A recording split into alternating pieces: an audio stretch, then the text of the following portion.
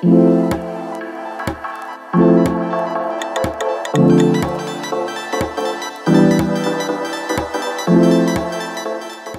everyone, so I hope you can hear me. I know I look pretty messed up in the light here, but there's no better spot everywhere. It's just dark. So as I told you already, I'm part of the opening of a new ship of the company that I'm working for. And for motivation and thank you. They organized a party for us, for all the crew. I might never get sponsored, but this party is sponsored from Red Bull, so you will probably see the Red Bull logo a lot in this video. It's really cool here. They have some finger food. All the drinks are with Red Bull, so I might go crazy. Usually energy drink doesn't affect me, but we will see.